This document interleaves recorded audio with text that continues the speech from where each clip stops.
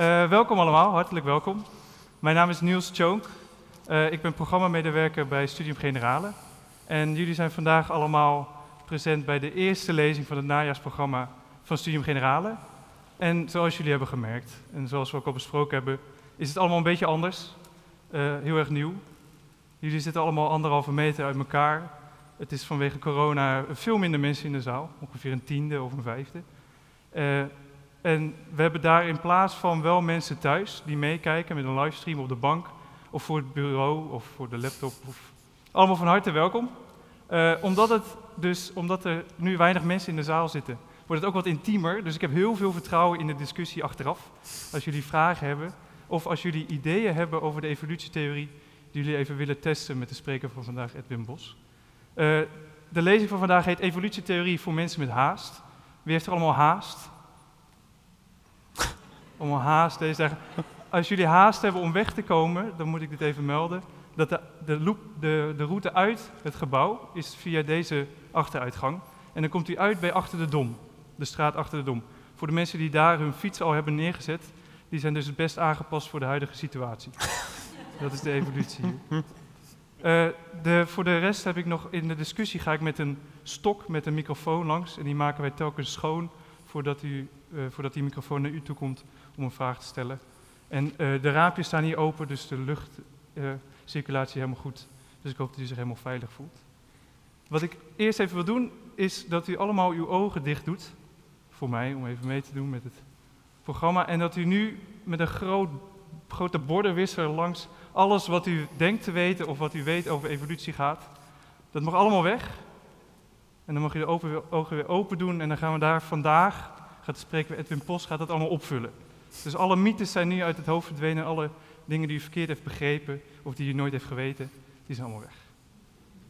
Oké, okay. evolutietheorie voor mensen met haast. Onze spreker vandaag is dus Dr. Edwin Pos. Uh, Edwin die heeft uh, biologie gestudeerd in Utrecht, de bachelor, de master.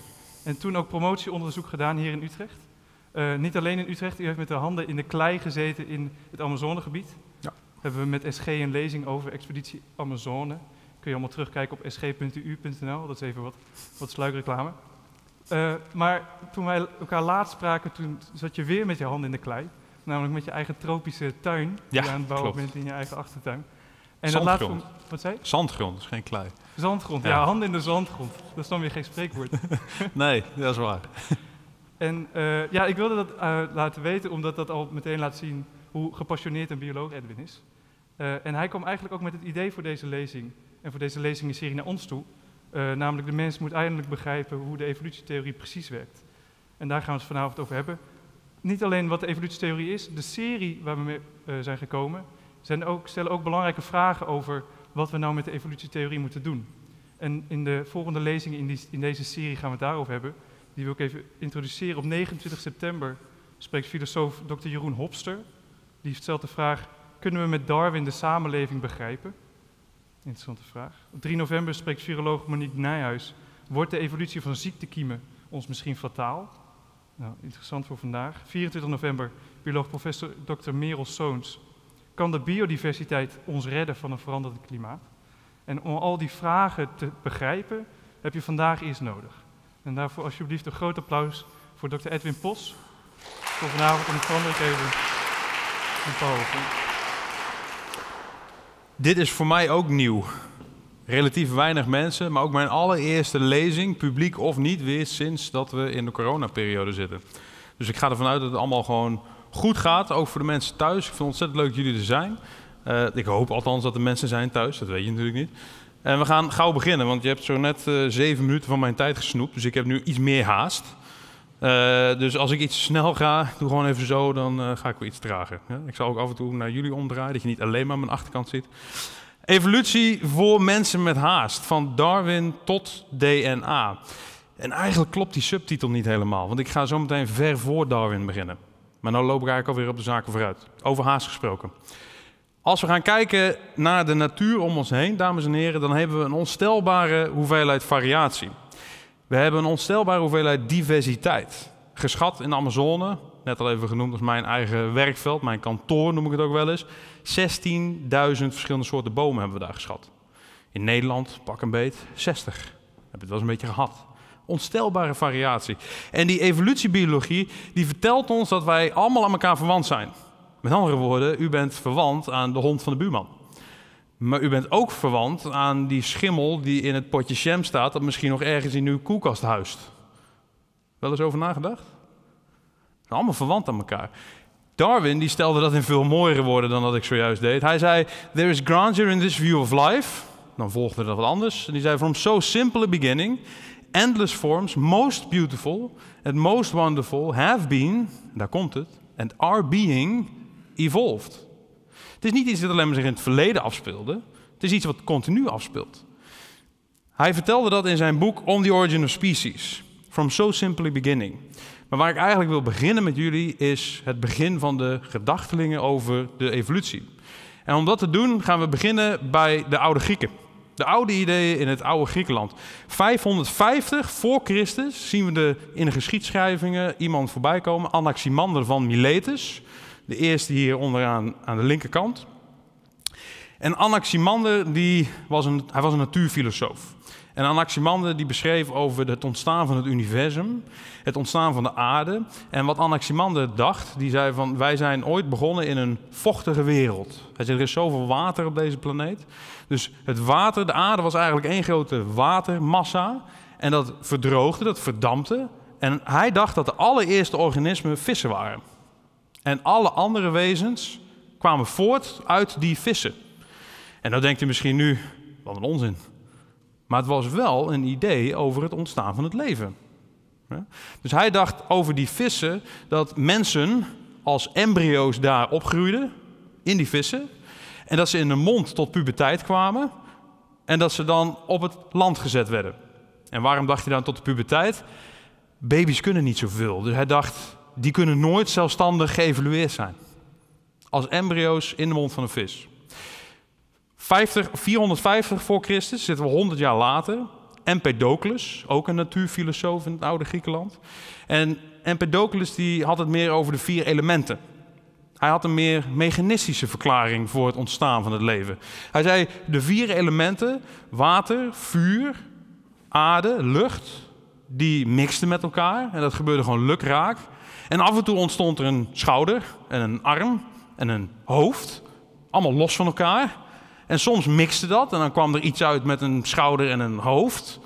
En heel soms kwam er iets uit wat dan op iets leek wat ook daadwerkelijk levensvatbaar was. Zoals de mens. Misschien denkt u nu ook weer van, nou dat is een beetje een gek idee, maar het is wel een mechanistische verklaring voor het ontstaan van het leven. Het is dus een vraag die ons eigenlijk ook al heel erg lang heeft beziggehouden. Waar komen wij vandaan?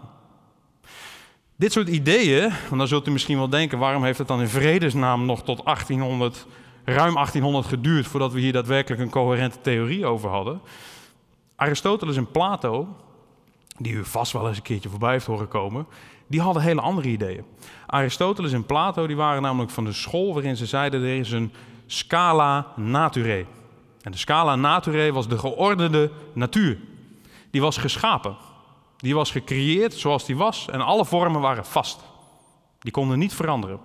Letterlijk een ladder van het leven met, u raadt het wellicht al, wie stond er aan de bovenkant? De mens. Ja. Scala naturae. Die scala naturae die heeft het ontzettend lang volgehouden. Tot ver in de middeleeuwen.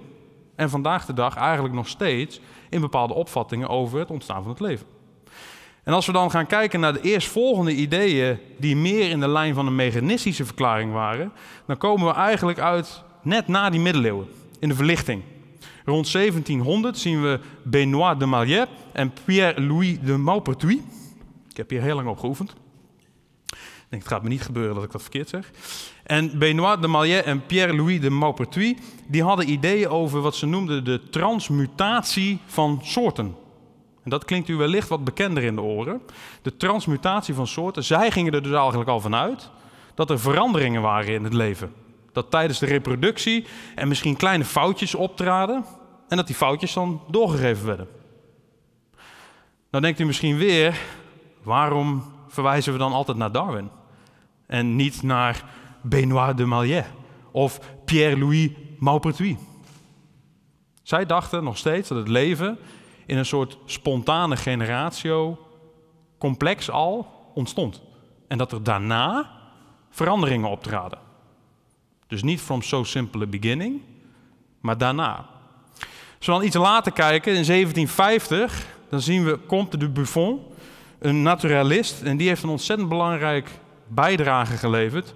Comte de Buffon, die zei namelijk, nou, het kon wel eens zo zijn dat eigenlijk al die verschillende variaties die wij zien van het leven op aarde, dat die afstammen van een soort algemene blauwdruk.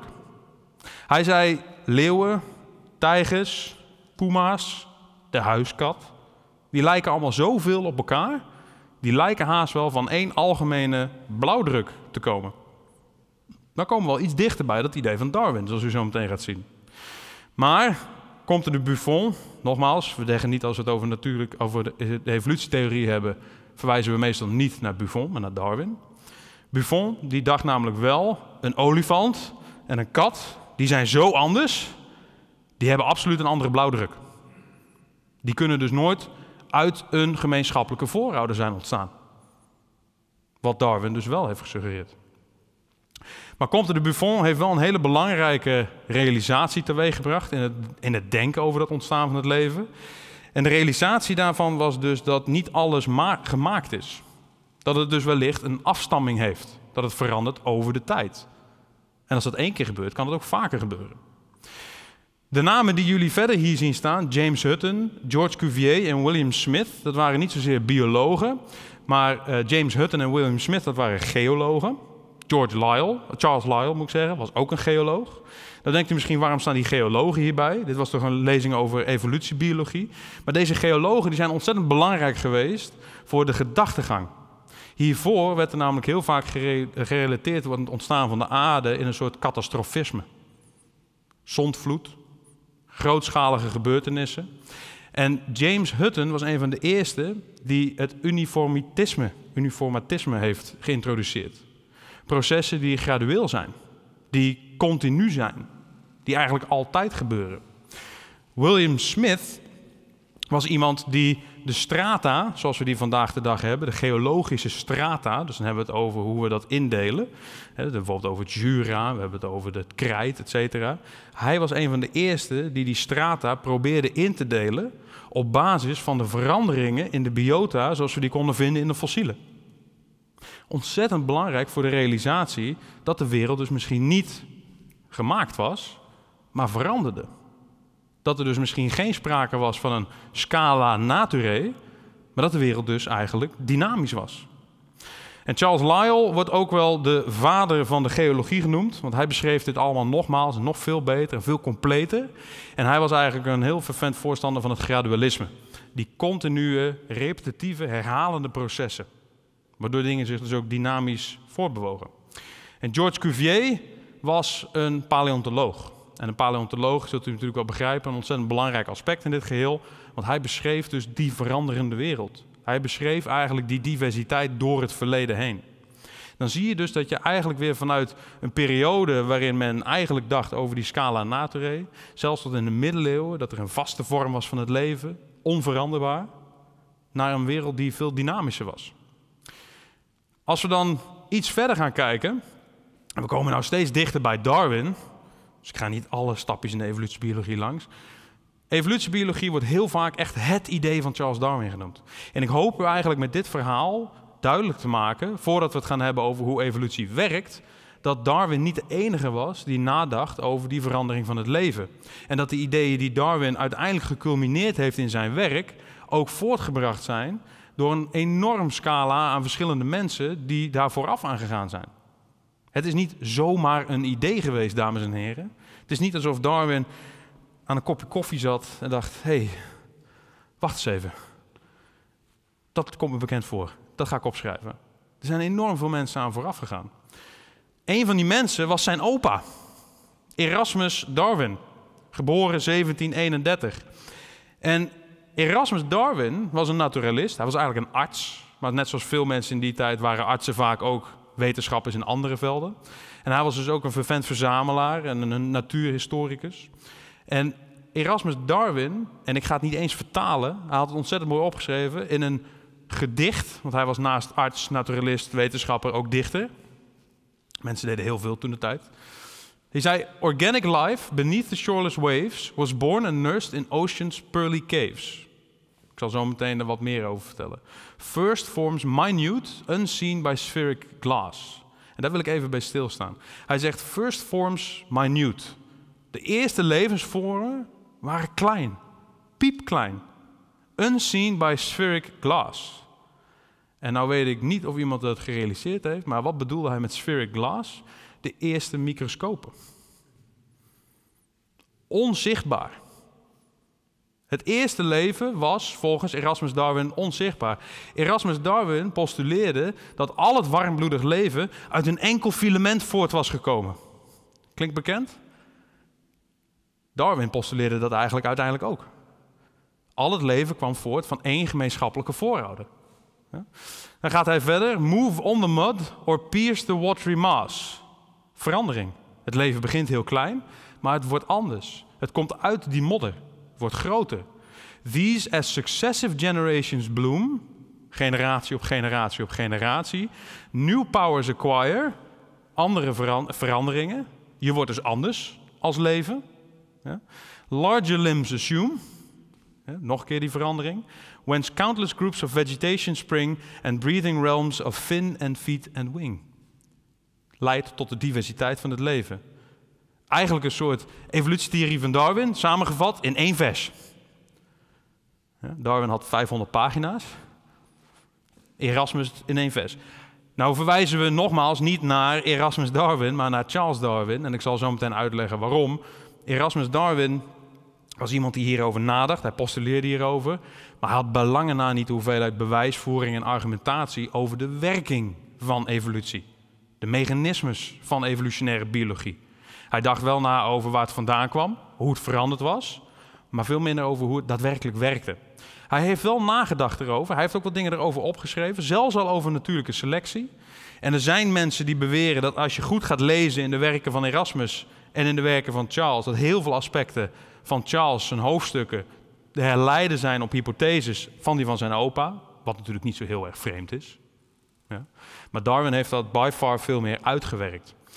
Nou, waarom heeft u nou nooit van Erasmus gehoord dan? Erasmus Darwin.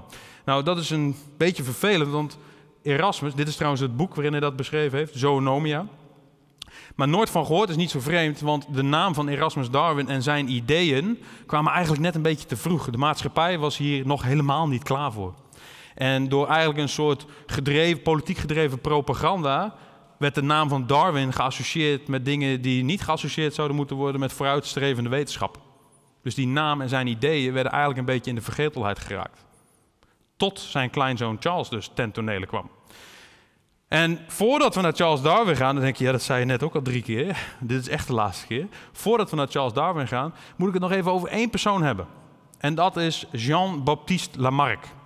En Jean-Baptiste Lamarck is iemand die elke bioloog kent, of ze in ieder geval zou moeten kennen.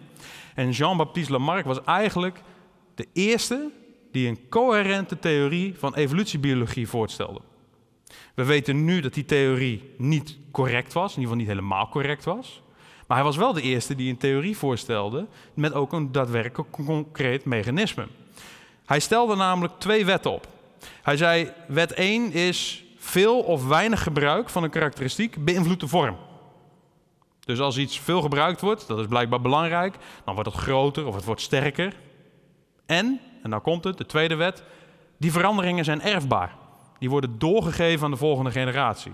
En dan kunt u natuurlijk wel nagaan dat als je iets veel gebruikt en het wordt groter en dat geef je door en die nakomelingen gebruiken dat ook weer en dan wordt het nog groter en dat wordt ook weer doorgegeven, dan krijg je dus over langere termijn best wel grootschalige veranderingen. Het probleem een beetje met de theorie van Jean-Baptiste Lamarck was dat dit aspecten waren die gedurende het leven veranderden. En het veelgebruikte voorbeeld daarbij is die van een ja, giraf. Een giraf gedurende zijn leven, zijn of haar leven, die eet, die probeert de bovenste blaadjes te krijgen. Dus die nek die wordt veel gebruikt. Die nek die wordt groter tijdens dat leven en die grotere nek wordt doorgegeven aan de volgende generatie.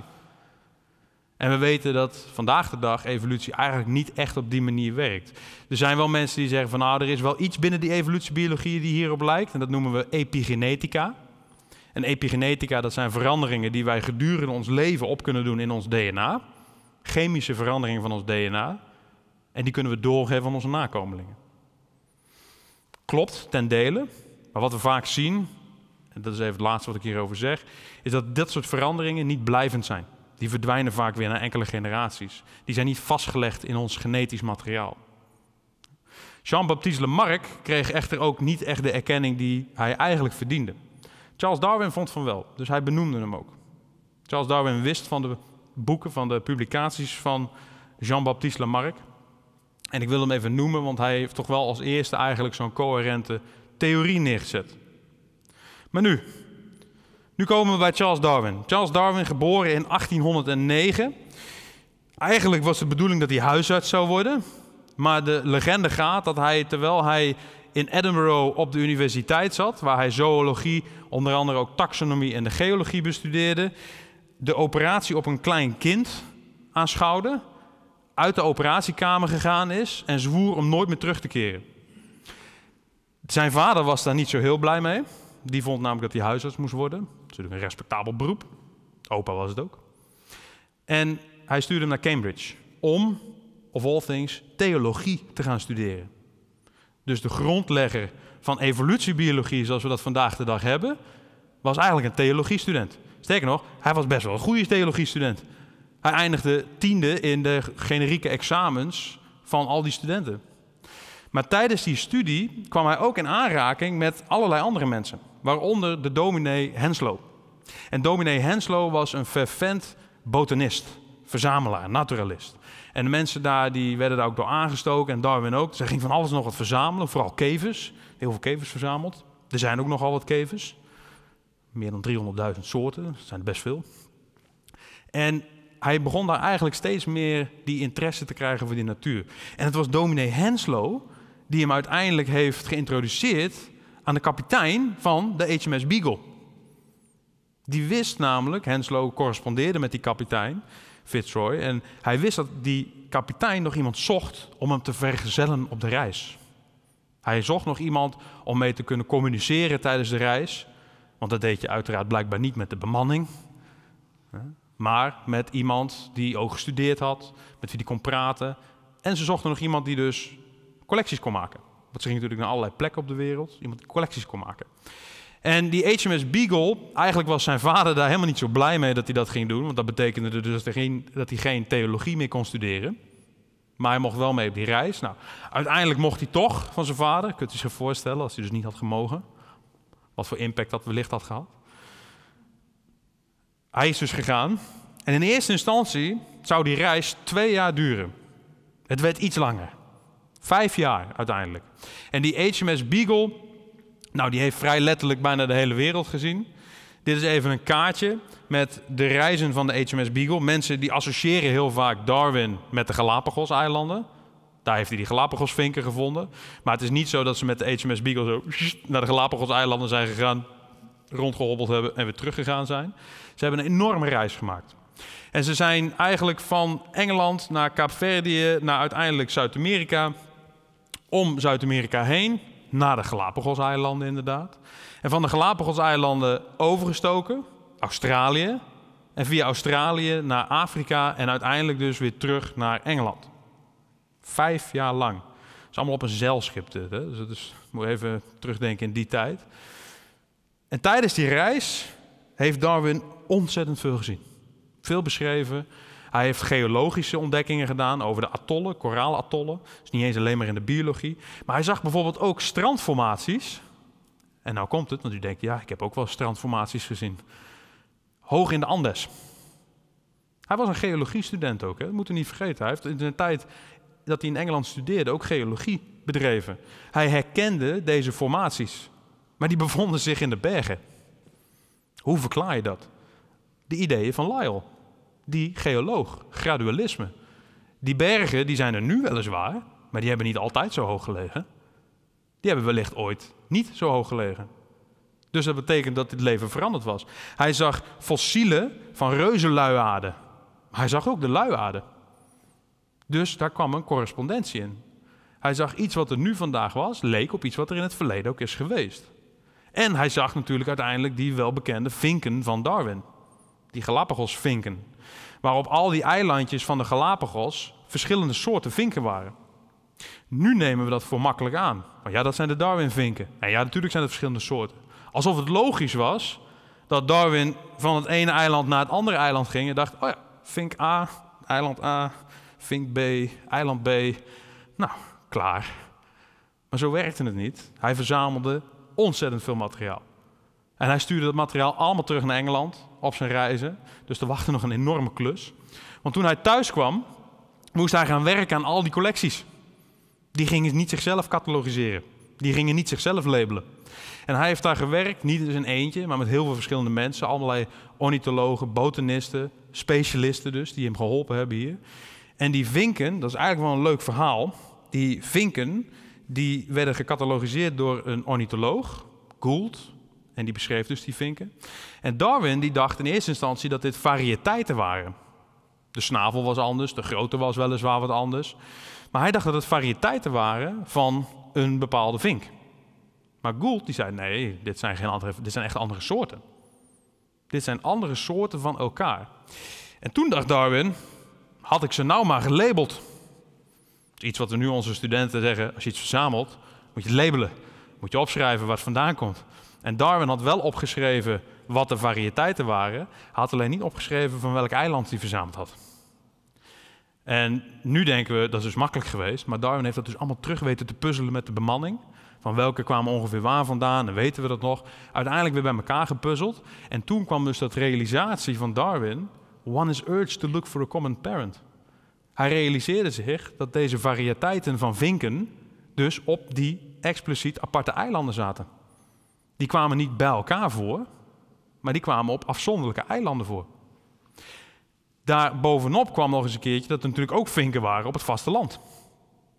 Dus dacht Darwin, kan het niet zo zijn dat er dus een gemeenschappelijke voorouder was, een common parent, die uiteindelijk deze diverse soorten heeft voorgebracht. Nou, dat heeft hij niet alleen voor die vinken gedaan, maar hij heeft talloze publicaties geschreven, waar de meeste mensen eigenlijk nooit van gehoord hebben, om al die verschillende collecties maar te publiceren. En als je dan in zijn dagboek kijkt, in het werken aan deze, hier zie je het dus, de labels, vraagteken, had hij dus niet. En als je dan gaat kijken in zijn dagboek, dan schrijft hij op een gegeven moment de allereerste, wat we noemen, filogenetische boom. De boom van verwantschap. Wat we dus noemen het boom van het leven. De allereerste door Darwin, dit tekeningetje. In zijn dagboek. Met de kleine notitie erbij, I think.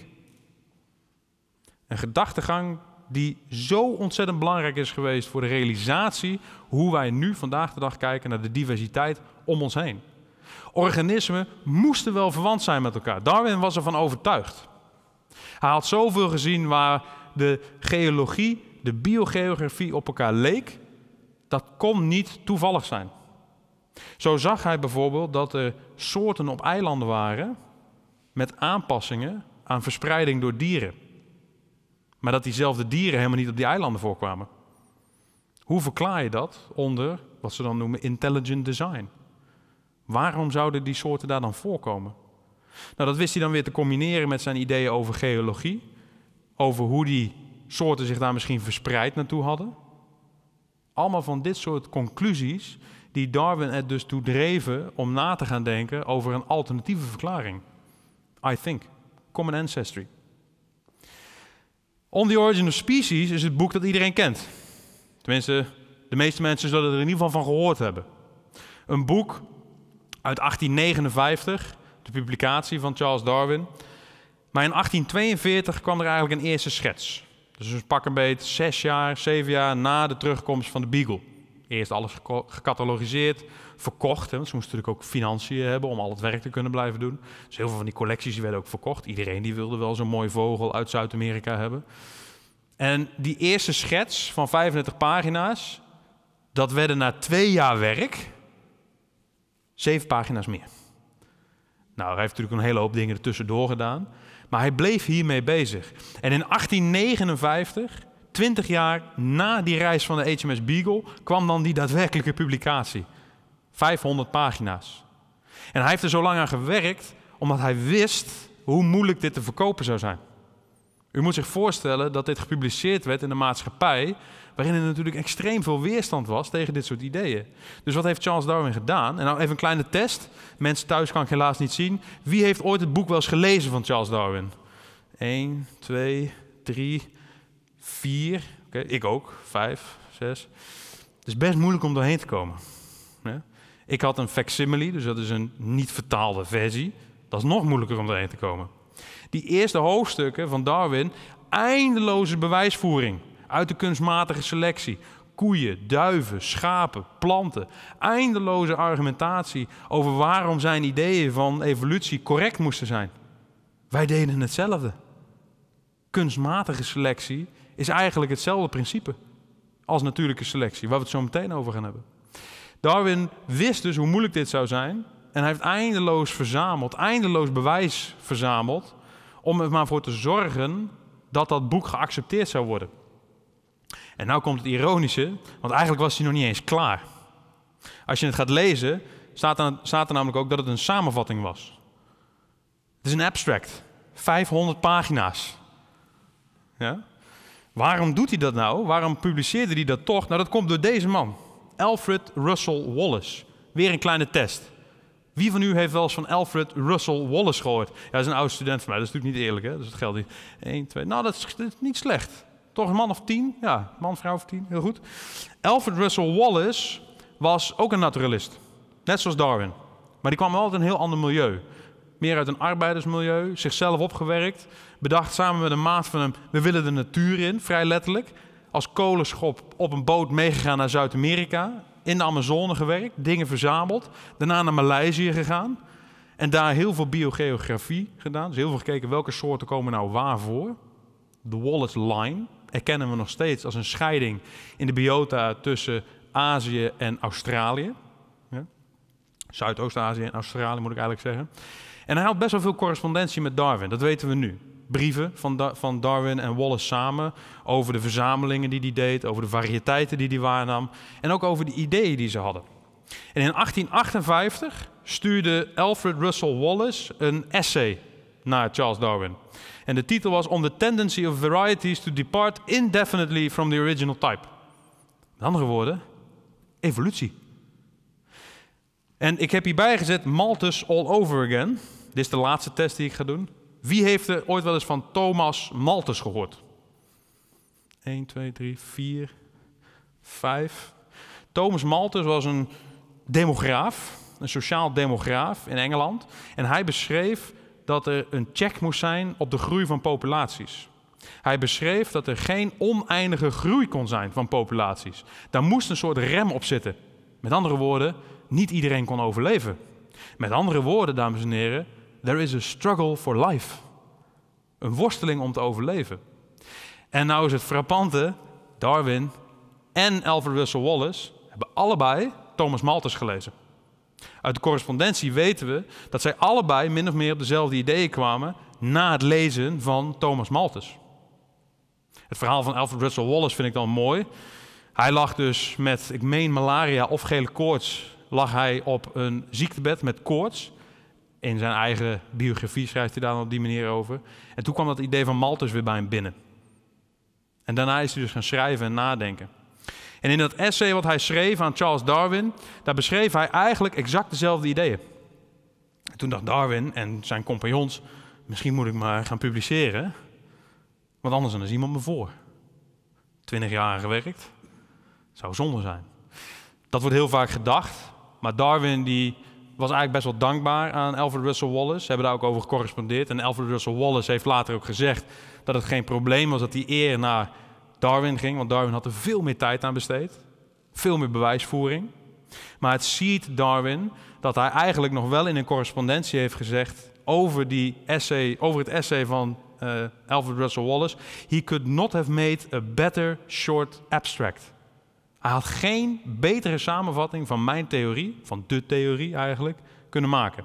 Sterker nog, zijn boeken, de titels, hebben de titels ook van deels de essays van Alfred Russel Wallace. Dus hij was hem wel erkentelijk.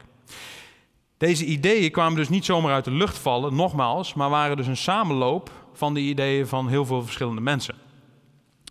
En als we dan gaan kijken naar Darwin, dan was het natuurlijk niet zijn enige werk. Darwin heeft naast die Origin of Species nog veel meer geschreven. De variatie van dieren en planten onder domesticatie, dus de kunstmatige selectie. De afstamming van de mens, dat was best wel een dingetje natuurlijk. U heeft vast allemaal de prenten wel eens een keer gezien waarin Darwin als een aap wordt geschetst. Ja, want hij durfde het over de afstamming van de mens te hebben. Hij had het ook over het uitdrukken van emoties bij mens en dier. Dat was vergelijkbaar. Voor hem weer een argumentatie om te zeggen: kijk, gemeenschappelijke afkomst. En in 1882 overlijdt Charles Darwin. En in zijn overlijden heeft hij eigenlijk één ding nooit op kunnen lossen. Hij wist dat voor natuurlijke selectie, voor evolutie, moest er overerving zijn. Anders werkt het niet. Als er geen overerfbaarheid is van karakteristieken, dames en heren, dan moet elke generatie als het ware opnieuw het wiel uitvinden. Dan is er wel selectie, maar als die selectie waarvoor geselecteerd wordt, als die karakteristieken niet worden doorgegeven, moet de volgende generatie weer opnieuw beginnen. Maar hoe wordt dat doorgegeven? Als u dat nu aan iemand vraagt, zeggen ze, DNA. Maar tijden van Darwin wisten we helemaal niks van DNA. Het schijnt dat Darwin wel de boeken van iemand in de kast had staan waar ik het zo meteen over ga hebben. Alleen ja, je kan natuurlijk niet alles lezen. En hij heeft dus dat hiaat van die overerving nooit opgelost. Hij heeft wel bewezen dat er overerving was.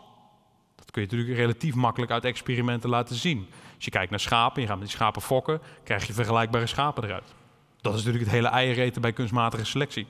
Dus we wisten wel dat er overerving moest zijn. Maar hoe dat exact werkte, dat was toen de tijd nog niet bekend.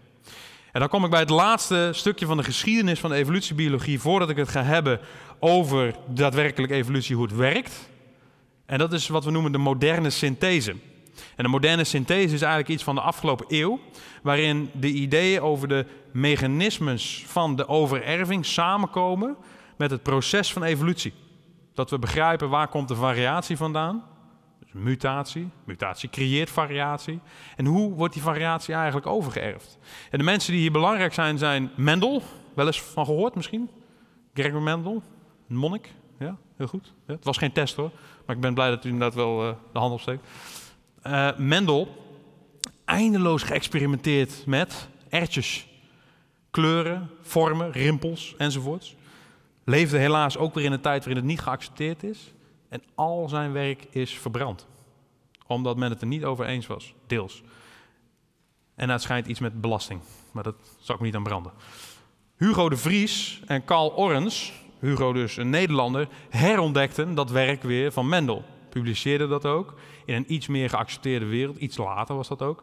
Thomas Morgan, een experimentalist die heel veel met fruitvliegjes heeft geëxperimenteerd. Gekeken naar de overerving van kleuren, van ogen onder andere, vormen van vleugels, etc. Allemaal om die wetten van de overerving boven tafel te halen. En uiteindelijk kwamen ook die ideeën van DNA, Uiteindelijk wisten we ook waar dan die informatie opgeslagen zit. Daar ga ik zo meteen nog wat over vertellen. En ik heb hier Fisher, Haldane en Wright even neergezet. En dat zijn, die zijn, vind, vind ik persoonlijk heel belangrijk. Dit zijn wiskundigen geweest. En wiskundigen die hebben ons ontzettend veel gebracht. Wordt heel vaak niet zozeer geassocieerd met evolutiebiologie. Maar zij wisten voorspellingen te maken op basis van hoe we dachten dat het werkte. En als die voorspellingen dan uitkwamen, dan hadden we een redelijk goede in, heel goed inzicht van nou, misschien werkt het dus inderdaad zo. Komt het niet uit, nou, dan moeten we andere oplossingen zoeken. En die wiskundige modellen zijn ontzettend belangrijk geweest voor het begrijpen vooral van natuurlijke selectie. En vooral voor het begrijpen hoe snel selectie kan werken. Hoe krachtig het proces van selectie is. Maar ook hoe belangrijk bijvoorbeeld kans is, waar ik het zo meteen ook over ga hebben. En Meyer en Dobzhansky werden later belangrijk, ook in hetzelfde experimentalistische werk. Huxley heb ik hier even bijgezet. Hij is degene die die term de modern synthesis heeft gecoind, dus die heb ik hier even bijgezet. En deze quote, die u vast allemaal wel eens een keer gehoord heeft, die komt dus van Theodosius Dobzhansky. Hij zei, nothing in biology makes sense except in the light of evolution. En wat hij daarmee bedoelde was niet, evolutie is het belangrijkste en alle andere disciplines zijn kwarts. Nee, hij bedoelde daarmee, als je echt iets wilt begrijpen, moet je dat doen vanuit het licht van evolutiebiologie. Want dan leer je niet alleen maar hoe dingen werken, maar ook waarom ze zo werken. De moderne synthese, waarin niet alleen de biologie, maar ook de verschillende disciplines binnen die evolutiebiologie eigenlijk samenkwamen. Nou heeft u in een half uurtje ongeveer in een vogelvlucht de geschiedenis van de evolutiebiologie gezien. En als we dan gaan kijken naar die boom van het leven, die dus eigenlijk voortgebracht is door die evolutionaire biologie. En dit is een plaatje van wat we dus noemen een filogenetische boom. En in zo'n filogenetische boom, daar zetten we de verwantschap in van verschillende groepen. Wij staan hier ook bij. Dus hier staan allerlei groepen in, van eencellige schimmels tot planten tot mens. Iedereen is dus verwant aan elkaar.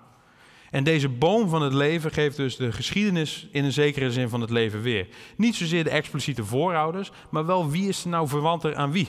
Net zoals dat u vernauwer verwant bent aan een broer of een zus, maar minder aan een neef of een nicht, zijn wij ook meer en minder verwant aan diverse organismen op deze planeet. Maar hoe werkt dat dan? Dus hoe werkt evolutiebiologie nou? Dat proces van evolutie moeten we eigenlijk beginnen bij die kleinste schaal de populatie, maar eigenlijk wil ik nog even iets kleiner gaan en dat is DNA.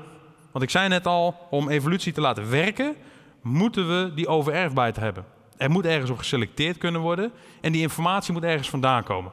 En DNA, weet u natuurlijk, we hebben cellen, in die cellen zitten kernen, in die kernen zitten chromosomen, daar zit de DNA in opgeslagen.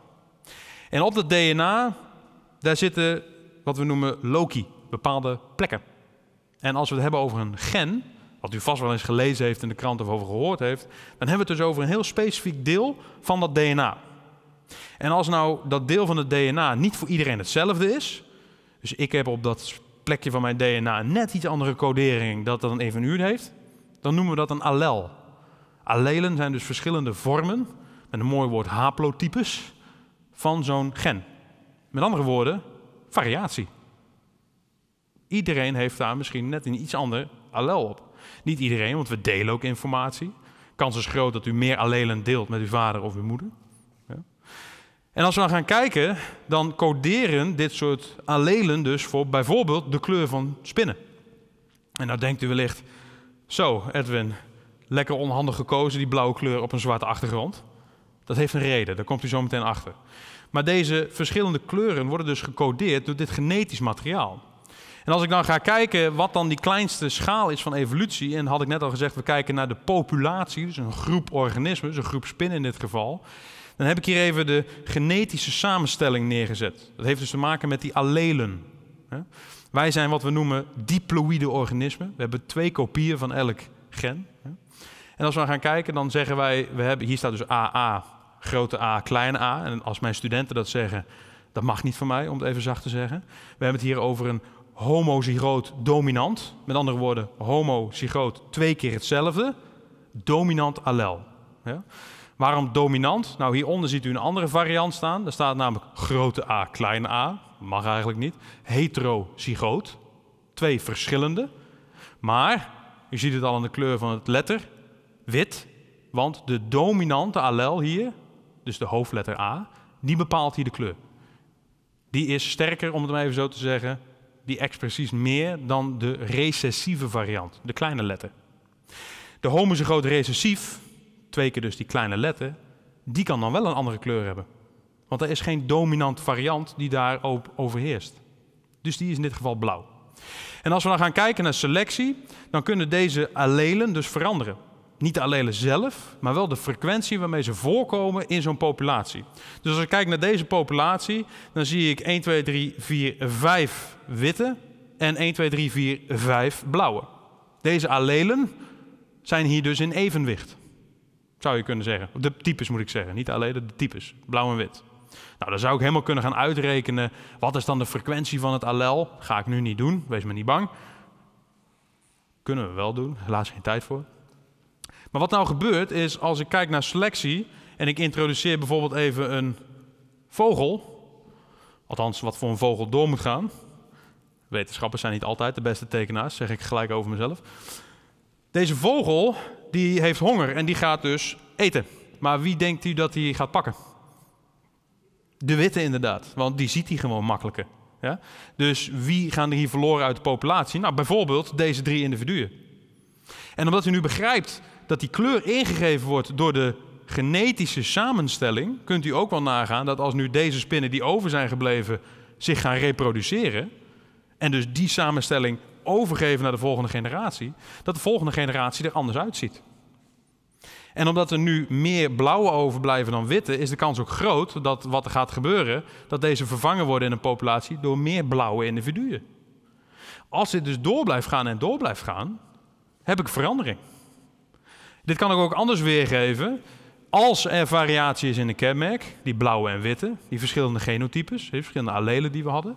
Als die variatie overerfbaar is en als er een overproductie is aan nakomelingen, met andere woorden, niet iedereen kan overleven.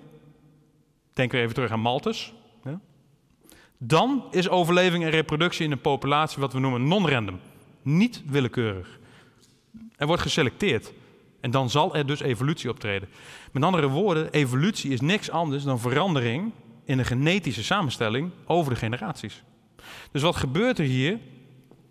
Die non-random evolutie betekent hier in dit geval door selectie dat de best aangepaste individuen overleven. Richting. Natuurlijke selectie geeft richting aan evolutie. Hier zie je twee figuren. Boven, de initiële populatie, mooie nette verdeling.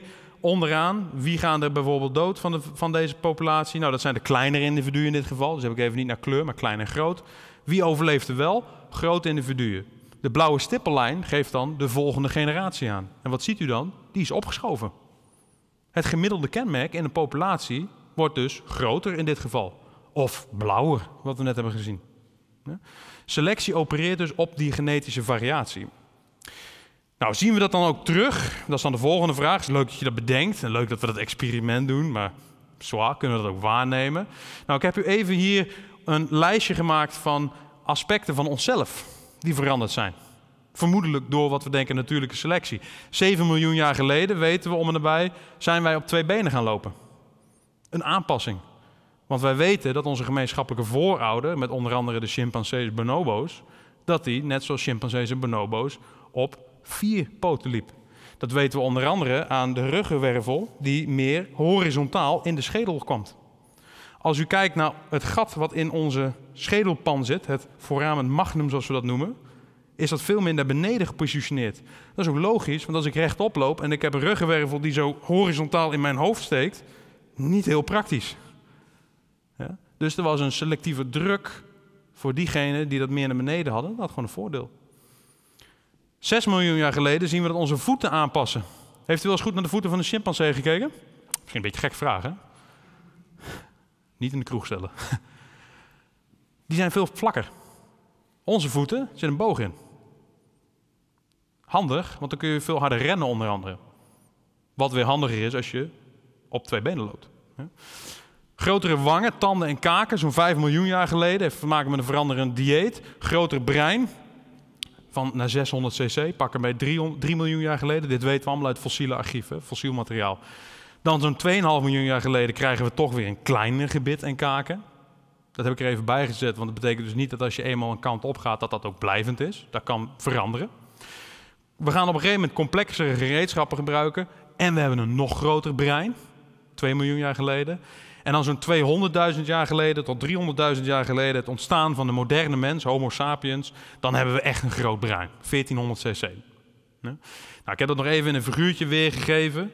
Want u kunt ook denken, misschien werden wij gewoon groter en kregen wij daarom een groter brein. Wat u hier links ziet in het figuur is zo'nzelfde filogenetische boom, zo'n verwantschapsboom. Maar dan net iets anders weergegeven. En u ziet hier de ontstaan van het genus Homo onder andere. Dus we zien Homo habilis, Homo erectus, Homo sapiens neanderthalensis en Homo sapiens. En in het rechte figuur ziet u op de x-as, de horizontale as, de lichaams, het lichaamsgewicht, de body mass. En dan op de y-as ziet u wat er staat ECV. En dat betekent het endocranial volume. Met andere woorden, de inhoud van deze hersenpan. Nou ja, niet deze hersenpan, maar de hersenpannen. En wat u daar ziet, al die bolletjes, dat zijn eigenlijk dezelfde bolletjes die u ziet in de filogenie. Dus in die boom. Er staat ook de gorilla bij. En daar begin ik even, de gorilla, helemaal rechts onderin het figuur aan de rechterkant. Heel groot, relatief kleine herseninhoud. En als u dan die bolletjes volgt even helemaal naar boven, dan ziet u daar Homo sapiens staan. En Homo sapiens neanderthalensis. En als u dan zo schuin naar beneden gaat, dan ziet u Homo erectus, Rudolfensis, Habilis, Paranthropus. Onze voorgangers, die dus allemaal net een strapsgewijs eigenlijk kleinere hersenpan hadden. Of andersom gezegd, onze hersenen zijn groter geworden. Kunnen we dus heel simpel eigenlijk, er is heel veel werk aan vooraf gegaan, dus simpel is nu eigenlijk alleen de visuele weergave, de is absoluut niet simpel. Op deze manier weergeven hoe stapsgewijs de evolutie dus verandering heeft aangebracht. Evolueren wij dan nog steeds? Kunt u zich afvragen. Nou, genetisch gezien zijn er nog steeds veel signalen dat mensen nog steeds evolueren. Van resistentie tot ziektes, tot veroudering, gedrag en ook onder andere de vertering. Hier aan de linkerkant een tabel met een aantal genen. Hè, wat ik net zo even gezegd, dat plekje op het DNA. Codeert bijvoorbeeld voor het enzym lactase, waarmee wij lactose kunnen verwerken. Opname van nutriënten uit melk. En daar rechts ziet u een figuur waarin ook de frequentie, daar hebben we het weer, hè, dus hoe vaak komt dat allel voor? En dan ziet u dat in West-Europa, waar heel veel melk wordt geconsumeerd, en ook al vrij lang melk wordt geconsumeerd, waarvan we ook weten dat het lang is, dat de frequentie daar ook hoger is. Daar staat dus, heeft selectie opgestaan. Nou, zo zijn er nog veel meer varianten van genetische signalen van evolutie. Hoe snel gaat dat dan? Is dat het duurt dat geen miljoenen jaren. Dat wordt ook wel eens gevraagd. Hè? Van als we dan weten hoe evolutie werkt, duurt dat niet veel te lang? Dat kunnen we toch nooit observeren? Nou vind ik het eigenlijk wel een grappig voorbeeld. Ik heb ooit een lezing gegeven waar Menno Schildhuizen net voor mij een lezing heeft gegeven. En hij beschreef in zijn boek uh, Darwin in de stad, een ontzettend leuk boek trouwens, uh, beargumenteerde zijn boek dat de merel, Turdus merula, misschien als twee soorten gezien zou moeten worden. De Turdus merula en de Turdus urbanicus, de merel die in de stad leeft. Een paar kleine veranderingen. In de stad zie je dat merels een kortere snavel hebben, dat ze een hogere zang hebben, dat ze ook s'nachts zingen, uh, dat ze al eerder broeden. En als je naar de bosmerel kijkt, langere snavel, lagere zang, overdag alleen maar zingen. Dat zijn veranderingen die wellicht geassocieerd zijn met het leven in de stad. In de stad meer verkeer, hogere toon komt verder dan een lagere toon. Je kan ook s'nachts zingen. Er is ook veel licht, relatief veel licht in de stad. Dus die fotosignalen van wanneer moet ik stoppen met zingen en wanneer niet, die veranderen. Dus je ziet dat die omgeving veranderingen teweeg brengt. Nou denkt u misschien, maar waren die variaties er niet altijd? Ja, die waren er ook wel. Maar je ziet dus dat in de stad daarvoor geselecteerd wordt. Want die merels in de stad doen dit meer dan de gemiddelde merel in het bos. Nou, hoe lang duurt dat nou, is dan de vraag. Uh, ik heb dat toen in de pauze, heb ik dat snel zitten uitrekenen, als goed theoreticus betaamt. En de tijd voor een voordelig allel om te fixeren, bijna te fixeren, is wiskundig gezien gelijk aan 4 gedeelde s. Ga ik verder niet op in waarom dat zo is. 4 gedeelde s en s is wat we noemen de selectiecoëfficiënt. Hoe sterk wordt daarvoor geselecteerd? Hoeveel procent voordeel hebben individuen ten opzichte van andere individuen als je dat kenmerk wel of niet hebt? En als we gaan kijken naar die merel, stel je nou voor dat er 1% fitnessvoordeel is. Nou denkt u misschien 1%, is dat niet wat weinig? Dat is al eigenlijk best veel. Maar laten we even vanuit gaan dat 1% fitnessvoordeel. En fitness is hoe goed doe je het? Hoe succesvol ben je? Dat betekent dat 4 gedeeld door 0,1 er eigenlijk 400 generaties nodig zouden zijn. Dat klinkt heel veel. Maar heeft u wel eens gerealiseerd hoe de stad Utrecht eruit zag in de 17e eeuw? Dat was al best wel een stad. Dus 400 generaties geleden, ik vind het niet zo heel vreemd dat we nu merels hebben die er in de stad anders uitzien dan in het bos. Evolutie duurt dus wellicht langzaam, maar misschien niet zo langzaam als u van tevoren dacht. Hoe zit het dan met complexe structuren? Dat is ook vaak een vraag. Dat oog bijvoorbeeld, als ik nu een onderdeel uit mijn oog haal, liever niet, maar als ik nu een onderdeel uit mijn oog haal, functioneert het niet meer. Hoe kan dat dan ontstaan zijn door evolutionaire biologie? De complexiteit die noodzakelijk is voor de functie, dat noemen ze dan ook wel een een niet irriceerbare, niet reduceerbare complexiteit. Als ik dus iets eruit haal, functioneert het niet meer. Wordt heel vaak als een argument gebruikt, kan nooit ontwikkeld zijn door evolutiebiologie. Alleen wat u zich moet realiseren is dat het in hele kleine stapjes is gegaan. Van een enkele fotoreceptor tot een fotoreceptor met een kuiltje. Waarom is dat kuiltje nou belangrijk? Nou, als die fotoreceptor hier in het midden zit en hier is een kuil en er komt hier licht vandaan, wat zit er dan aan deze kant? Schaduw. Ik kan dus ineens bepalen waar komt mijn licht vandaan. Het is een heel simpel experiment wat een beetje lijkt op camera obscura. Als u een vrij grote pingpongbal zou hebben, zo. En die hakt u in stukjes. En daar doet u een laken voor en een lichtbron. Dan kunt u eigenlijk dit proces van evolutie van het oog nabootsen. Door dat oog steeds groter te maken, door die bolling steeds groter te maken, kunt u steeds beter zien waar die lichtbron zit. En als u bijna de bol vol hebt, maar nog een klein gaatje aan de voorkant hebt, als een soort opening van het oog, heb ik dus nog niet eens een lens. Alleen een opening. En ik hou mijn vingers op, kan ik al mijn vingers tellen. Dan kunt u zich nagaan dat in die miljoenen jaren, want hier hebben we dus wel over miljoenen jaren, en dus ook heel veel generaties, dat er misschien wel zoiets kan ontstaan als een complex oog. Het feit dat ik nu dan niet iets uit het oog kan halen, wil natuurlijk niet zeggen dat het niet zo geëvalueerd is. Dat oog, dat is 40 keer om nabij onafhankelijk ontwikkeld. Onafhankelijk omdat het dus op verschillende structuren gebouwd is, verschillende manieren, maar wel eenzelfde functie heeft. Dat is dus niet iets wat lukraak is gebeurd. Daar heeft een hele duidelijke selectiedruk op gestaan. U kunt zich ook wel voorstellen, als prooi heeft het natuurlijk een enorm voordeel als je weet dat je predator eraan komt. En vice versa, als predator heeft het een voordeel dat je kan zien waar je prooi zit. Hele sterke selectiedruk en evolutie werkt in hele kleine stapjes. Nou hebben we eh, heel wat gehad over natuurlijke selectie. Maar de mensen die dus uh, Charles Darwin hebben gelezen on the Origin of Species, die weten ook, het is best wel een anticlimax. Want als je in zijn boek begint met lezen, On the Origin of Species by Means of Natural Selection, dan staat er op pagina 6 van dat boek, Natural selection has been the main, but not the exclusive means of modification. Met andere woorden, ik heb een heel boek geschreven over natuurlijke selectie, 500 plus pagina's. Maar ik zeg alvast op pagina 6 dat dat niet het enige mechanisme is wat er is. Wat er dan wel is, dat wist hij niet zo heel goed te vertellen. Had hij wel ideeën over, ideeën waarvan we nu ook weten dat ze behoorlijk kloppend waren. Maar natuurlijke selectie is niet het enige proces. Sterker nog, wat Darwin zelf namelijk al zei, was dat variations neither useful nor injurious, die dus eigenlijk niet zoveel doen, neutrale variaties, geen selectief voor- of nadeel, would not be affected by natural selection and would be left a fluctuating element. Kans. Gewoon variërend door kans.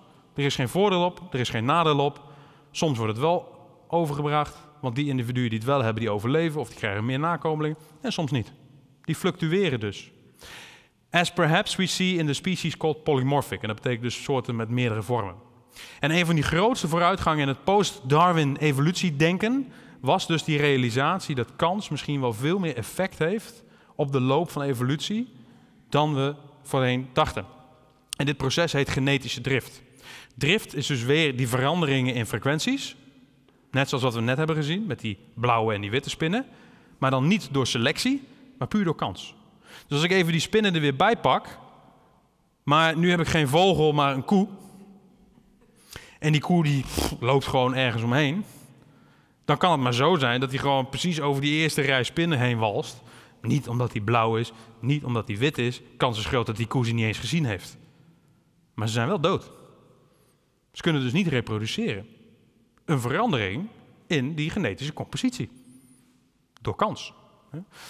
Dit is vaker voorgekomen dan u misschien denkt. Als u naar dit plaatje kijkt, dan ziet u hier de vermoedelijke migratie van ons als mens. Vanuit het ontstaan in Afrika, zo'n 300, 200 tot 300.000 jaar geleden, zijn wij uit Afrika gegaan, hebben we de wereld gekoloniseerd. Hoe hebben we dit teruggevonden? Nou, door onder andere dat proces van genetische drift. Die koe, die zou ik ook kunnen vervangen voor een greep uit die populatie. Ik zou ook even, nou, ik heb hier een bak met knikkers, verschillende kleuren, en ik trek daar een hand met knikkers uit. Dan trek ik nooit alle kleuren mee waarschijnlijk. Tenzij ze compleet evenwichtig verdeeld zijn. Maar dat is natuurlijk vaak niet zo, zeker niet bij de genetica. Ik pak dus een hand met knikkers daaruit. En die hand met knikkers heeft een bepaald aandeel van de totale variatie die er was. Maar niet alle variatie. Die leg ik dan neer. Die gaat reproduceren. Oké, knikkers, bear with me. Ja, knikkers reproduceren even. En dat doe ik precies hetzelfde. Weer reproduceren. Nog een keer, nog een keer, nog een keer. Aan het eind van de rit is de kans groot dat ik nog maar één kleur knikkers heb. Puur door kans. En dat is ook gebeurd met onze eigen genetische variatie. We hebben een, ze hebben een toets gedaan waarbij ze van allerlei populaties van mensen over de hele wereld gesampled hebben wat de genetische variatie was op bepaalde plekken van het genoom. En wat zagen we? Hoe verder weg verwijderd van Afrika, precies volgens die routes van migreren, hoe lager de genetische variatie. Je kan dus niet alles meenemen. Nu gaan we dat weer een beetje tegenwerken, want we zijn echt cosmopolitan geworden. Hè? Ook een van de problemen nu natuurlijk met corona. We gaan overal heen. We reproduceren ook weer op meerdere plekken. Ik bedoel ik niet meerdere plekken per individu, maar meerdere plekken per land bijvoorbeeld, dat we naar andere plekken toe gaan. Dus je ziet dat dat wellicht nu misschien wat gaat afnemen. Maar goed, dit is wel 200.000 jaar hè, aan, aan genetische drift. Ik kan niet selectie zeggen, aan genetische drift. Ander voorbeeld, wat ik ook in mijn onderwijs wel gebruik, de leeuwen van de Ngorongoro. Een drastische afname van de populatie door een uh, populatie vliegen nota bene, die dus de leeuwen uh, parasiteerden. En we zien dan rond de jaren 60 een enorme afname was in die populatie van die leeuwen. Dan denken we, nou dat is heel vervelend. Maar gelukkig zijn die, is die populatie weer opgeklommen. Ja, hartstikke mooi. Waar gaat het verhaal nou om? Nou, het mooie hiervan is voor de evolutiebiologie, voor deze drop in de populatie had het overgrote deel van de populatie leeuwen normale tussen aanhalingstekens spermacellen. Dat wil zeggen eenkoppige spermacellen. Kijk ik nu naar die populatie, hebben ze tweekoppige spermacellen. Over het algeheel. Niet iedereen. Maar wat gebeurde er nou? Die zes leeuwen die over waren gebleven, waren er echt nog maar vijf of zes van deze populatie, daar had een groter deel toevallig die tweekoppige spermacellen. Die bleven over, die reproduceerden zich. Dus je ziet een verandering in die populatie op genetisch niveau, niet door selectie, maar door genetische drift. Drift en selectie opereren dus allebei op evolutie. Die opereren allebei op de variatie, moet ik eigenlijk zeggen, waardoor evolutie dus eigenlijk gebeurt. Met andere woorden, en ik ben er bijna, dus het komt mooi uit. Het proces van evolutie kunt u eigenlijk heel simpel samenvatten in deze slide. Dus denk ik, nou Edwin, dat had je ook al aan het begin kunnen doen dan. Mutatie, variatie. Ja? Dus mutatie is de bron van variatie. Mutatie gebeurt bij ons allemaal. We lopen naar buiten. Terwijl we lopen, gebeurt er mutaties. Ja? Die mutaties die bijvoorbeeld door de zon komen, dat is misschien niet de mutatie die ik hier bedoel. Waarom niet? Dat zijn dus die veranderingen die niet doorgegeven worden aan die volgende generatie. Het zijn mutaties op onze geslachtscellen, die we doorgeven aan de volgende generatie. Daar ontstaat dus variatie. Dan heb je een verschil in overerving. En dat verschil in overerving dat komt dus door die selectie en die kans. Natuurlijke selectie en genetische drift. De twee drijfveren van evolutionaire verandering.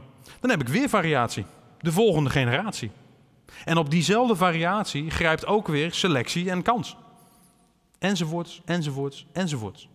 En hier ziet u ook waarom die ideeën van Lyell, die vader van de geologie onder andere, zo belangrijk waren. Want deze realisatie, dat het continu gebeurt, werd dus eigenlijk ook ingegeven door wat er eigenlijk in de geologie al eerder bedacht was. Die graduele, herrepeterende cycli van processen. En nou wil ik als laatste het met u even hebben over het feit dat we dit een theorie noemen. Ik heb net een uur lang staan kletsen over het feit van evolutiebiologie. We kunnen dat meten, we kunnen het observeren, we kunnen het voorspellen. Dit is er. Evolutiebiologie, dames en heren, is een feit. Waarom noemen we het dan een theorie? Nou, het is een theorie in de wetenschap. Maar wist u dat zwaartekracht ook een theorie was? Niemand twijfelt eraan dat als ik hier een tennisbal heb en ik laat die tennisbal vallen, dat die blijft zweven. Dat kunt u wellicht geloven, want het is slechts een theorie. Maar dat gaat niet veranderen aan de observatie dat als ik die tennisbal hier laat vallen, of als ik hier van deze trap afloop, dat ik toch echt wel, als ik niet oplet, vooruit kukel. Zwaartekracht is een theorie, dames en heren. Dat noemen we in de wetenschap zo, net zoals evolutiebiologie, omdat we het wellicht wel kunnen observeren, kunnen het meten, kunnen het toetsen, maar we weten niet exact hoe het werkt. Heel lang dachten we van theorie van zwaartekracht dat Newton gelijk had. Massa's trekken nou eenmaal aan. Dat is gewoon een kracht. Tot Einstein. Einstein die dacht, nee, nee, nee, het is veel ingewikkelder. Ruimtevervorming, daar zal ik nu verder niet op ingaan. Ruimtevervorming, massa's, we zijn eigenlijk continu aan het vallen. We vallen alleen niet door omdat we op een massa staan. De theorie van zwaartekracht werd dus anders omdat we hem anders interpreteerden. Maar zwaartekracht zelf niet.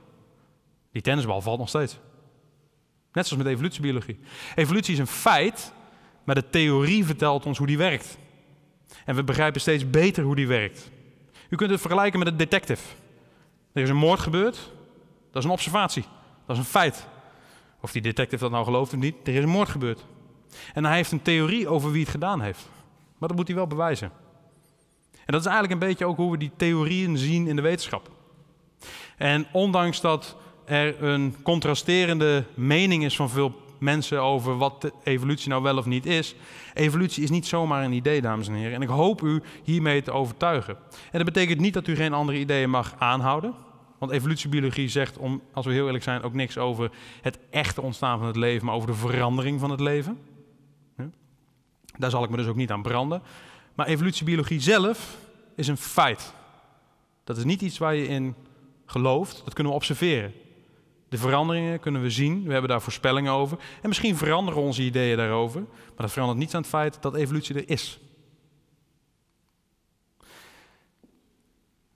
Met andere woorden, het geloof is misschien optioneel, maar meedoen is wel verplicht. Evolutie is er en daar ontkomen we niet aan en evolutie blijft er. Ik dank jullie wel.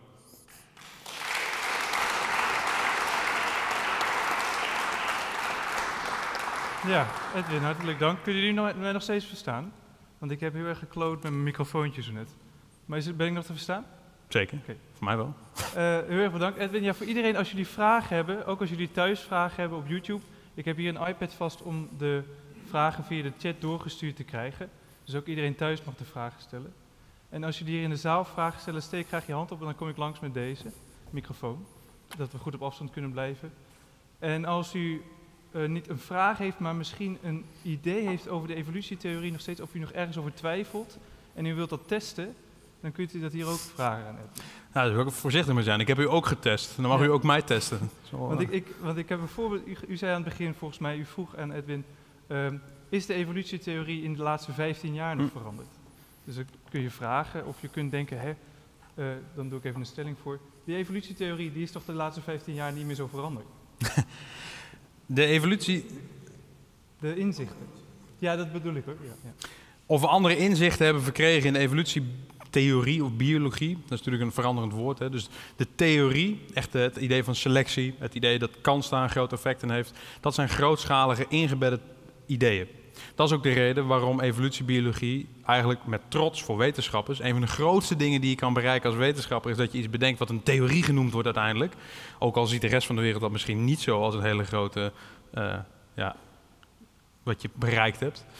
Het punt is dat die grootschalige ideeën wellicht niet meer zo veranderen, maar de exacte ideeën wel. Hoe werkt nou precies DNA? Hoe werkt nou precies die translatie? Hoe werkt nou precies die mutatie? Welke mutaties komen vaker voor dan andere? Want dat is ook niet algemeen bekend, dat niet alle mutaties evenveel voorkomen. Er zijn bepaalde mutaties die vaker voorkomen dan andere. Heel lang hebben we gedacht dat bepaalde stukken van ons genoom, dat die helemaal niks doen. Pseudogenen. Denken we nog steeds over een heel groot deel. Maar we komen er nou ook achter dat ze misschien iets andere functies hebben waar we nog niet bij stil hadden gestaan. Geldt niet voor alles, maar voor sommige stukken wel. Dus de mainstream ideeën van evolutie veranderen wellicht niet meer zo. Maar de specifieke inzichten, ja, die, we vergroten onze kennis. We krijgen nieuwe technologieën, nieuwe technieken waarmee we beter, sneller dingen kunnen veranderen, kunnen checken, kunnen toetsen. En daarmee krijgen we wel nieuwe inzichten. Ja. Dankjewel. Ik zit even te kijken. Anders nog iets? YouTube. Heeft iemand hier een vraag? Ja, dan kom ik even bij je. Um, om door te gaan met waar je het net over had, van er is niks, niet heel veel veranderd aan de main ideeën. Wat vind je dan van de extended synthesis? Of dat er hmm. werkelijk iets aan de zeg maar, basics moet toegevoegd worden?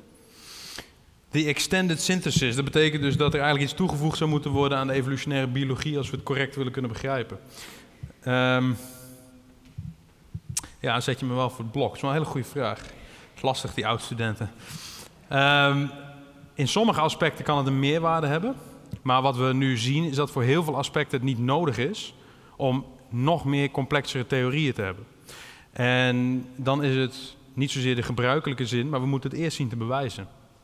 Dus als wetenschapper zijnde zal ik ook de laatste zijn die zegt: ik geloof dat pertinent niet. Als we het kunnen bewijzen dat het zo is, dat het noodzakelijk is, dat we het kunnen toetsen, dan zal ik de laatste zijn die zegt: dat moeten we niet doen. Maar tot die tijd is er eigenlijk geen reden om aan te nemen dat we dus die extended synthesis nodig hebben om een soort nog completer beeld te maken van hoe we denken dat het werkt. Eh, om er even op door te gaan, die extended phenotype.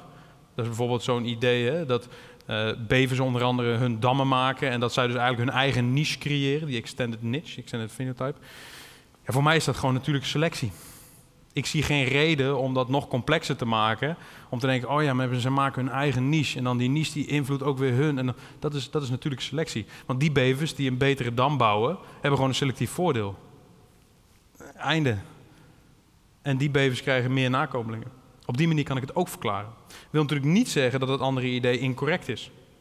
Maar vooralsnog zie ik geen reden om dat aan te passen. Maar dat is ook het belangrijke van wetenschap aan zich. Wetenschap is niet vast. De ideeën van zwaartekracht veranderen, de ideeën van evolutiebiologie zijn ook veranderd. Misschien niet in de laatste tien jaar, maar onze ideeën zijn daarover veranderd. Specifieke aspecten. Dat is het hele idee van wetenschap. Proberen om de wereld beter te begrijpen. Niet alleen maar zeggen, dit is hoe het werkt, oogkleppen op en er niet aan tornen. Juist uitzoeken of dat zo is. Oké, ik heb een vraag van Jonno via YouTube. Wat is op dit moment het grootste nog onopgeloste mysterie in de evolutieleer? Oef. Nou, een van de grootste onopgeloste mysteries is, uh, is seks, onder andere. Waarom we dat doen? Dat is wel een hele goede vraag eigenlijk. Dus we hebben daar wel hele goede ideeën over. Um, er zitten ook wel voordelen aan, onder andere het creëren van meer genetische variatie. Maar dat kan ook op andere manieren. Het is namelijk best wel een complex geheel, seks, wat dat betreft. Dus we moeten daar, er, zijn, er zijn meerdere aspecten aan evolutionaire biologie die we als geheel proberen te verklaren en waarvan we stukjes proberen te verklaren. Dus het is vaak een van de moeilijke dingen die mensen dan aan mij vragen ook. Als je bij wijze van spreken, niet als ik op straat loop hoor, dat niet dat mensen me op straat aanspreken van hé, hey, hoe werkt dit eigenlijk? Deden mensen dat maar eens. Um, mensen die willen graag weten, wat is de big picture? Hoe werkt nou alles? En hoe verklaar ik nou alle diversiteit van het leven op aarde? Ik denk, nou, maar misschien moeten we beginnen bij het begin. Dus als je mij vraagt, wat is nou het grootste probleem wat we nog steeds niet opgelost hebben in evolutiebiologie, dan zou ik daar eigenlijk geen antwoord op kunnen geven. Want dat grotere probleem wat we nog niet hebben opgelost, bestaat eigenlijk uit heel veel kleine aspecten, waar iedereen heel druk mee bezig is om dat uit te zoeken. En wat we proberen steeds beter te begrijpen. Tuurlijk zijn er wel zaken in de evolutiebiologie waar we nog steeds druk mee bezig zijn om beter te begrijpen. Bijvoorbeeld, hoe, hoe kunnen we nou kwantificeren welke processen nou echt het belangrijk zijn? We weten dat drift belangrijk is, we weten dat selectie belangrijk is. Maar hoe weten we nou welke echt belangrijk is? En hoe verschilt dat per populatie? En hoe verschilt dat per soort? Hoe verschilt dat per familie? Zitten daar veranderingen in? Is dat te beïnvloeden, ja of nee? Hoe doen we dat? En dat heeft ook heel veel impact op hoe wij daarmee omgaan. Als wij weten hoe selectie heel goed werkt, kunnen we daar misschien ook op anticiperen. Denk even aan natuurbescherming. Dus zijn er zaken in evolutiebiologie die we niet, nog niet hebben opgelost? Absoluut. Is er één iets aan te wijzen waarvan ik denk, zo, dat is echt, dat is echt een gigaprobleem? Nee, want het zijn heel vaak allemaal losse kleine dingen. Oké, dankjewel. Iemand nog een vraag? Ja. Um, u noemde van dat uh, Charles Darwin wel overerving had uh, genoemd, maar dat hij het een beetje voorzichtig deed onder de mom van ja, hey, uh, ik kan het niet echt verklaren precies hoe het werkt. Ehm, ik zat te bedenken van ja, waarom is dat eigenlijk nodig?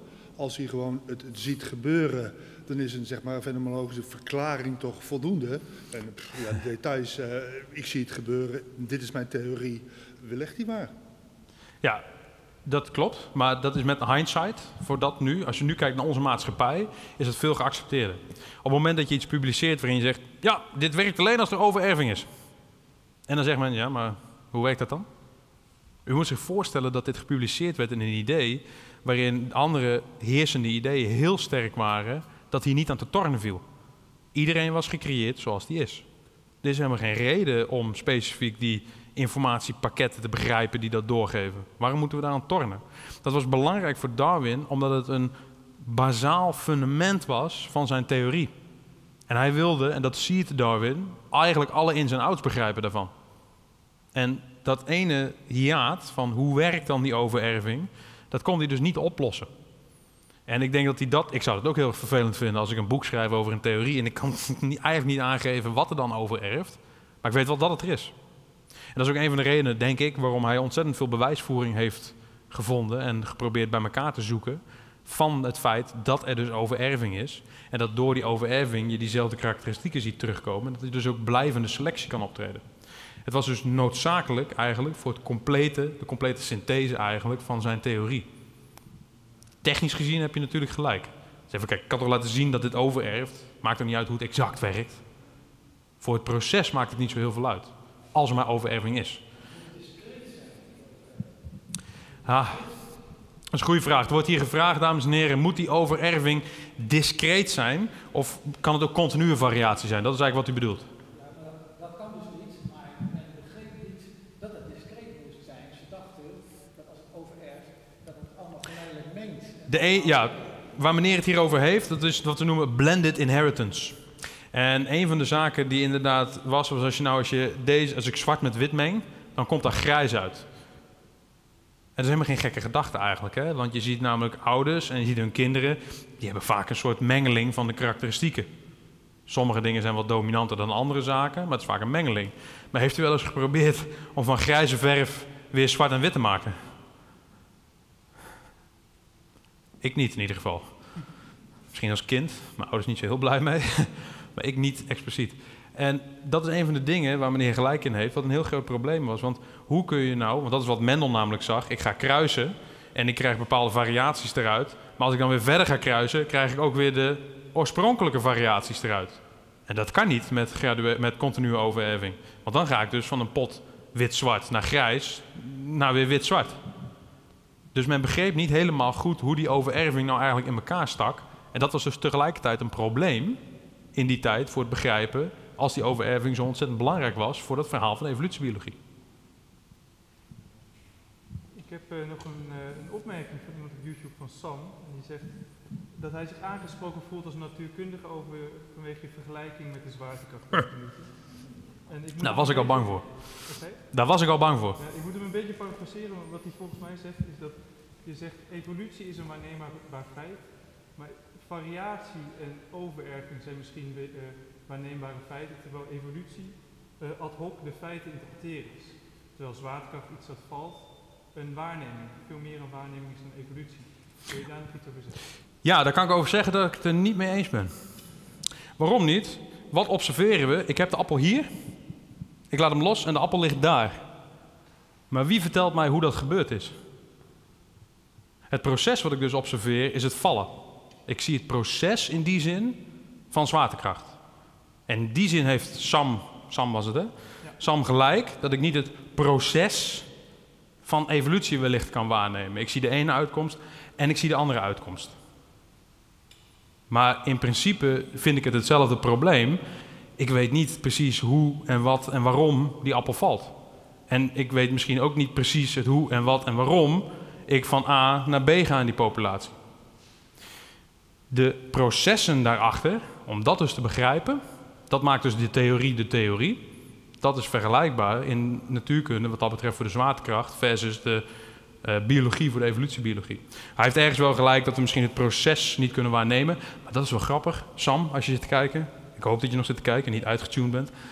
Uh, de laatste 50 jaar heeft het echtpaar, um, ben even de naam, Grant geloof ik als ik uit mijn hoofd goed zeg, de Galapagos-eilanden geobserveerd. Niet alleen de eilanden, maar daadwerkelijk de vinken.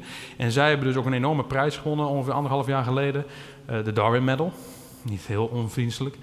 Um, waarin zij dus het proces eigenlijk van evolutie hebben geobserveerd. Zij hebben 50 jaar lang eindeloos die variaties van vinken zitten observeren.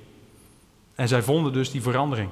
Niet van A naar B, maar juist dat vallen van die appel. Dus Sam, we hebben het wel eens geobserveerd. Ja. Niet vaak. Ik ga nog even, want stel ik heb het verkeerd geïnterpreteerd, dan kan ik hem ook zo interpreteren. Als evolutie dan waar te nemen is, is dan het zeggen dat er een gemeenschappelijke voorouder is. Uh, ook een waarneming of een proces dat je uh, niet anders kan interpreteren dan zo? Die, die gemeenschappelijke voorouder, dat is eigenlijk een conclusie. Kijk, wij kunnen reproduceren, deels in een lab bijvoorbeeld, hoe dat proces werkt. We kunnen beginnen met één bacterie, die kunnen we splitsen. Daar kunnen we ook sequenties van maken. We kunnen weten van hoe zit de genetica aan elkaar. En we kunnen precies volgen en dan komen precies dezelfde patroon uit. We kunnen zien aan fossielen, van sommige bijvoorbeeld van de paarden, hebben we een van de meest complete fossiele archieven van gevonden over die jaren heen. En dan kunnen we echt redelijk goed in elkaar puzzelen, ook op basis van de genetische sequenties, van wie is er nou nauwe verwant aan wie. Maar de exacte voorouder, ja, die kunnen we waarschijnlijk niet vinden. Waarom niet? Omdat die exacte voorouder nooit heeft bestaan. Dat klinkt misschien heel raar, maar die exacte voorouder is een populatie geweest van individuen. En daar is selectie op geweest. Dus er is niet één voorouder die zo na één generatie zo poink. En daar komen dan op een gegeven moment twee soorten uit. Dat is een populatie geweest. Er is dus niet één gemeenschappelijke voorouder. We noemen dat vaak zo, omdat we ervan uitgaan dat er wat ze noemen in het kladistiek een groep is. En die groep splitst zich in andere soorten. En die splitst zich weer in andere soorten. En daarmee heb je dus eigenlijk altijd een gemeenschappelijke voorouder tot het allereerste begin van het leven. De Luca noemen we dat, de last universal common ancestor. Dus dat is meer een interpretatie. Ja, dankjewel. Iemand in de zaal nog een vraag? Ik kijk even rond. Ja? Ik had, ik had begrepen dat Darwin op een bepaald moment ook een, eh, niet alleen met, die, eh, met dat mechanisme van overerving, maar met nog iets anders een probleem had en dacht van, shit, kan mijn theorie wel werken? En dat was omdat in zijn tijd de leeftijd van de aarde nog veel te jong werd eh, geschat. En ik, heeft hij in zijn tijd nog meegemaakt dat dat goed kwam? Ik dacht Ja. van wel, ja. Want dat was Lyell. George Lyell die zei namelijk deze proces, onder andere, niet alleen Lyell hoor, maar Lyell die postuleerde onder andere dat als al die processen continu gaande moesten zijn, kon de aarde nooit 6000 jaar oud zijn. Dat ging gewoon niet. En dit waren processen bijvoorbeeld van rivierafzettingen, die je vandaag de dag kan zien, maar diezelfde afzettingen zagen we in de geologische geschiedenis. En als je die nu kan observeren in een bepaald tijdsbestek, de reden, ah, dat kan nooit 6000 jaar zijn. Dus het was misschien een uitdaging, maar het was geen groot probleem voor Darwin. Wel over die tijdsperiode zelf. Want we wisten dan weliswaar dat het niet misschien 6000 jaar oud was. Maar om nou van de, bij wijze van spreken, een struisvogel, als we kijken naar de gemeenschappelijke voorouder van onszelf en een struisvogel, of van onszelf en dat schimmel in dat potje in uw koelkast. Ik zeg niet dat u dat heeft hoor, maar wellicht. Dat is natuurlijk wel een heel ander idee. Hoeveel wat voor tijdsbestek zit daar aan? Nou, dat is ongeveer 3,5 miljard jaar. Niet die schimmel hoor, dat is weer andere. Maar vanaf het allereerste leven, tussen de 3,5 en de 3,8 miljard jaar geleden. Dat zijn tijden die kunnen we eigenlijk niet bevatten. En dat maakt tegelijkertijd, denk ik, ook vaak zo moeilijk om evolutiebiologie echt te accepteren. Het gaat over tijdsperiodes die onze eigen generaties ver overstijgen. En dat maakt het tegelijkertijd ook zo lastig om het goed te begrijpen. Maar des te belangrijker, want we hebben er allemaal mee te maken. Je ziet het elke dag. Soorten gaan verloren, krijgen we niet meer terug. Natuur verandert, klimatologische omstandigheden veranderen. Dus we zien veranderingen in bijvoorbeeld de distributie van organismen. Denk even aan ijsberen die zich bijvoorbeeld steeds meer gaan verplaatsen omdat hun habitat verdwijnt. Tot op een bepaald punt dat ze niet meer kunnen verplaatsen, dan kunnen ze wellicht uitsterven. Evolutiebiologie grijpt dus eigenlijk continu in op alles om ons heen wat betreft het leven.